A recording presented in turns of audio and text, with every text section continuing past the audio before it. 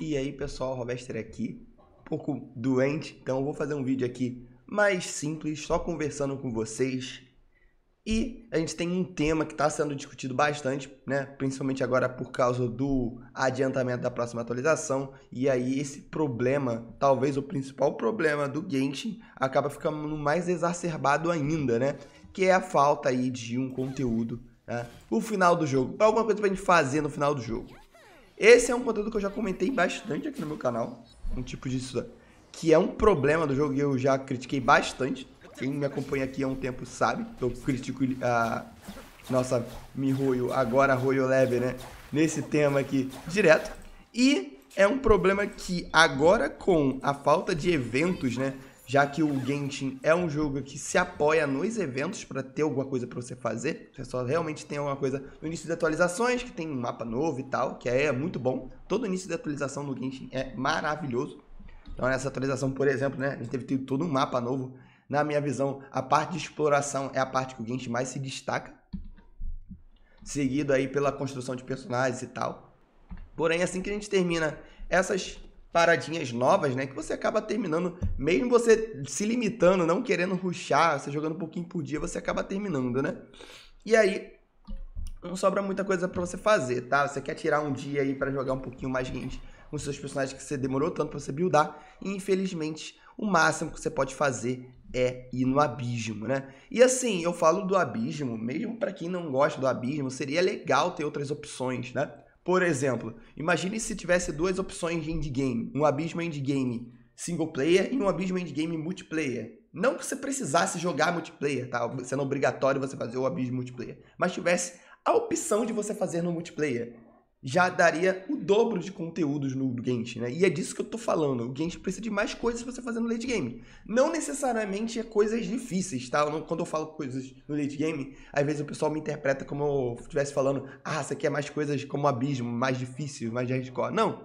Coisas para fazer. Para você matar bichinho, combate. Não precisa ser necessariamente difícil. Talvez um exemplo mais perfeito é o próprio evento que a gente teve da atualização, que era o evento que tinha um monte de monstrinho, que você ficava batendo continuamente neles lá e tal. Era muito gostosinho, muito gostosinho. Você podia usar, você via o poder dos seus personagens, né? Porque os bichos morriam rápido e tal. Era maravilhoso aquele, aquele evento. E poderia, por que não, virar uma parada permanente. E aí, virando uma parada permanente, você pode fazer uns times específicos para ele, né? O meta seria diferente, já seria uma mudança aí do meta também para quem se importa, tá? A gente teria uma outro conteúdo para você fazer depois. Você poderia ignorar o abismo e só fazer aquilo. E talvez um, uma ideia, né? A Royal Lab poderia botar as recompensas no abismo ali também. Aí você pudesse fazer a escolha. Ah, eu quero fazer o abismo. Ah, eu quero fazer o, o, o abismo contínuo, né? Que seria ali aquele que os bichos ficam vindo o tempo todo, tá? Sei lá.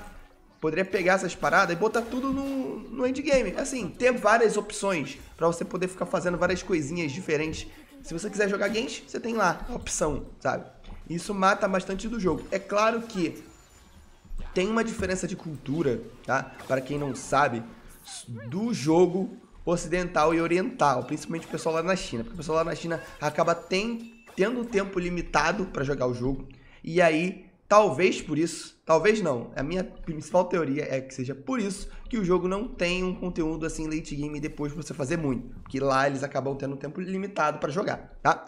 Porém, assim, Genshin não é um jogo que é um que está presente só na China, ele está presente no mundo todo, né? E aí se eles, assim, se eles quiserem continuar tendo relevância fora da China, eles têm que também prestar atenção no seu público fora da China, não tem como, né?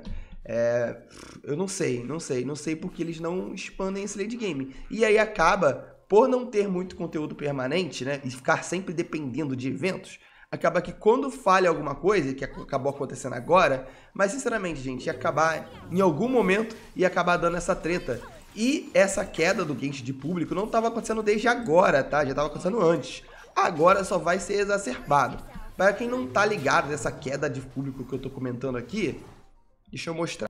Eu que sou criador de conteúdo acabo reparando bastante, principalmente os números do Google e do YouTube, que é a minha casa, né? Porém, eu queria mostrar agora da Twitch, tá? Porque eu já mostrei bastante o número do YouTube, número do YouTube e o número de pesquisas do Genshin no Google também tá caindo, tá no seu número mais baixo desde o lançamento. E aqui é o número de pessoas assistindo, horas assistidas, pessoas fazendo live de Genshin na Twitch. Se vocês verem aqui, ó, tá tudo vermelho. Vermelho não é legal, quer dizer que tá tudo em queda. Então aqui são as informações dos últimos 30 dias, nos últimos 90 dias também, ó. Tudo em queda. Só aumentou aqui 2% o número de broadcasters, né? Pessoal fazendo live. Mas o número de pessoas assistindo e tal, só em queda, tá? E se a gente olhar aqui nos últimos 14 dias também, ó, em queda, últimos 7 dias em queda, últimos 3 dias em queda, tá? Então isso aqui, obviamente, não é legal, né? Então, só para deixar claro, eu não tô querendo aqui ser o profeta do apocalipse e falar que o Genji tá morrendo, nem nada, tá? Porque não é, o Genji tá ganhando bastante dinheiro. Então tá safe, o jogo tá safe, não tá morrendo. Porém, óbvio que ficar perdendo o seu alcance assim, pode ser que ao longo prazo ele acabe entrando num ponto que não tenha mais volta, né? E aí a gente quer ter, eu, principalmente eu aqui, que tem um canal de Genshin no YouTube, eu sou um dos mais interessados em o Genshin está sendo um jogo saudável para os seus jogadores, que o pessoal tenha interessado tal, em jogar. E isso, agora, minha experiência pessoal, né, aqui no YouTube, eu vejo muito do meu público acabando falando comigo que, ó, oh, Robert, eu não tô, tô desanimado com o jogo e tal. Muita gente comentando sobre isso. E é triste. É triste, não tem o que fazer. E é triste, né? É triste a gente ver o nosso joguinho assim tendo uma, dessa decaída. E acabou que esse evento aí de Xangai do vírus, que não, sim, não vou culpar, obviamente, a Royal Lab, não é culpa deles. Porém, assim, o jogo tá decaindo, sim, eu coloco culpa neles, porque eles poderiam estar tá com um jogo preparado para uma situação como essa, tá ligado? Se tivessem vários conteúdos pra gente fazer depois do, do, do, do final do jogo, ó, esse pessoal teria interesse ainda. Porém, depois que termina a atualização, a única coisa que você pode fazer é jogar outro jogo. E a, sempre a minha recomendação, você tá entediado com Genshin? Beleza, vai jogar outro joguinho aí quando vir a atualização você volta pro Genshin. É a, talvez a parada mais saudável que você pode fazer, né? Então eu tenho aqui o Genshin, porém Genshin não é o jogo que eu mais jogo, tá? Eu tenho aqui meu canal de Genshin, porém o jogo que eu passo mais tempo jogando atualmente é Elden Ring, tá?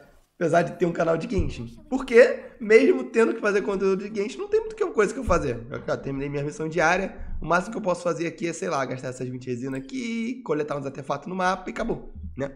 Infelizmente. Então, se tivesse umas paradinhas aleatórias aí pra fazer no endgame, a gente não teria esse problema. E aí teria mais interesse pra gente conversar sobre o nosso joguinho, né? Enfim. Que tipo de ideias vocês teriam pro endgame do Genshin? Que coisas, que eventos vocês gostariam que ficassem permanentes. Eu acho que tem vários eventos no Genshin que foram muito bons, muito legais. Tem eventos que são os bosses lá que você entra no domínio, que você pode mexer nos númerozinhos, tá? Tem tanto evento legal no Genshin que infelizmente ficou passado, sumiu, morreu, né? O conteúdo que eles criaram, eles tiveram trabalho para criar e não existe mais. Poderia estar tá aqui agora, seria perfeito para cobrir esse espaço de tempo, né? Enfim, e o que mais vocês fariam, né? Que tipo de. A gente poderia criar até outros eventos novos, né? Eles tivessem, né, com intenção de fazer uma parada permanente pro Late Game. E, a sério, assim, o abismo, que é a única coisa que a gente tem. Eu tô até falando coisas aleatórias aqui, gente, perdi até minha linha de raciocínio. Mas, enfim, eu tô querendo falar. assim, o abismo, que é o único conteúdo realmente late game que a gente tem, né? Que é depois que você termina tudo, é sinceramente muito pouco, muito pouco. Olha, agora que eu vi que eu não tinha pegado essa parada. É muito pouco isso aqui. É muito pouco. São quatro salinhas de bichos.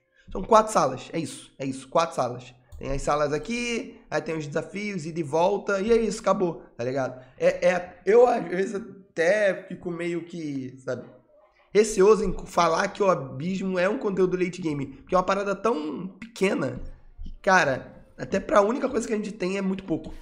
Enfim, eu acho que, é, pelo menos essa é a minha esperança, que a Royal Lab agora perceba o quão importante eles terem um conteúdo ali que eles possam se segurar e se der algum problema, mais outro problema no futuro, eles pelo menos tem alguma coisa ali no jogo que os jogadores precisam. Porque atualmente eles têm que literalmente ficar correndo e fazendo conteúdo o tempo todo, o tempo todo, o tempo todo. Porque é a única coisa que tem pra fazer no jogo. É eventinhos aleatórios que eles criam, né? Porque não tem nada permanente.